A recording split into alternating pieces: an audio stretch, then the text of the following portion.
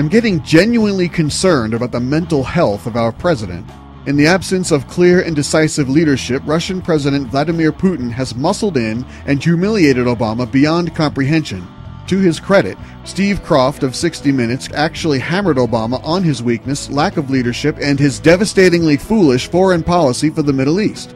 The visibly irate Obama responded with arrogance and anger as he demonstrated just how out of touch with reality he is. Mr. Putin now is devoting his own military just to barely hold together his sole ally.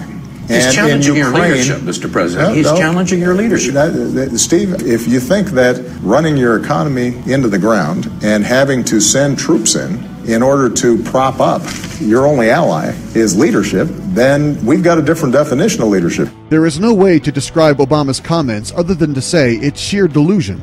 After the disaster that is Obamacare, how he can say Putin is driving Russia's economy into the ground is laugh out loud funny. And even though everybody in the world understands why this huge problem exists in the Middle East and why it's Vladimir Putin who has stepped in and removed Obama from playing any significant role, he just doesn't seem to get it.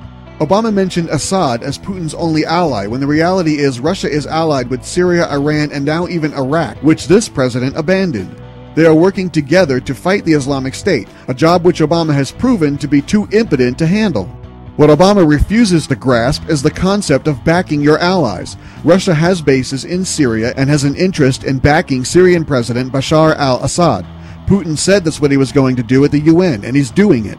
With each passing day, President Obama demonstrates that he is unqualified to hold his office, not to mention how clinically delusional he is.